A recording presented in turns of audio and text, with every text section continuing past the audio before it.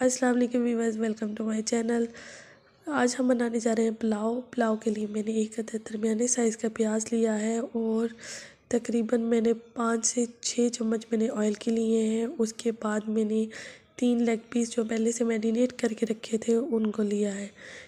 तीन से चार ज़मीन लहसुन के मैंने लेके उनका पेस्ट बना लिया है। एक अदर दरमियानी साइज़ का टमाटर लेके मैंने कट करके चिकन के साथ इसके मसाले के अंदर मैंने शामिल कर दिया है। हाफ़ टेबल स्पून मैंने यहाँ पे काली मिर्च ली है, जिसको मैंने कूट लिया है और एक सबस मिर्च को मैंने इसके अंदर शामिल करके इसको अच्छे तरीके से भून लिया है। और उसके बाद मैंने कुछ ये मसाले लिए हैं, जिनमें काली मिर्च, मोटी इलायची, सूखा धनिया और थोड़ा सा बिरयानी मसाला है। आप चाहें तो इसको स्किप भी कर सकते हैं, लेकिन शामिल करेंगे तो बहुत अच्छा टेस्ट आएगा। यहाँ पे मैंने चावल ऐड कर दिए हैं। नमक आप हसब ज़रूरत इस्तेमाल करेंगे चावलों में जितना आपको पसंद है। उसके बाद मैंने इसके ऊपर धनिए का छिड़काव, पहले तो मैं दम पे करती हूँ, लेकिन आज मैंने सोचा कि क्यों ना चावलों के अंदर कर दिया जाए ताकि ये अच्छे से ये भी पक जाए। तकरीबन मेरे चावलों का पानी ख़त्म हो चुका है। अब मैं इसको दम पे रखने लगी हूँ।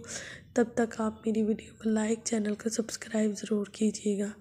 जो मसाले थे वो मैंने दम के ऊपर, दम लगाने से पहले ऊपर डाल दिए हैं और यहाँ पे मैं दम पे रखने लगी हूँ पंद्रह से दस से पंद्रह मिनट तक के लिए।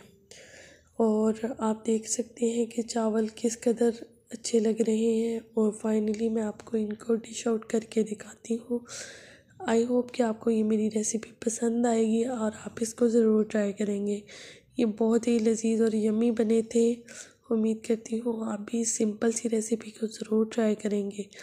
और मैं यहाँ बताती चलूँ कि जो चिकन मैरिनेट होने के लिए पहले से रखा हुआ था, उसमें मैंने दही के बाद इन सारे मिसालों को शामिल किया था। वीडियो पसंद आए तो शेयर ज़रूर करें। Thank you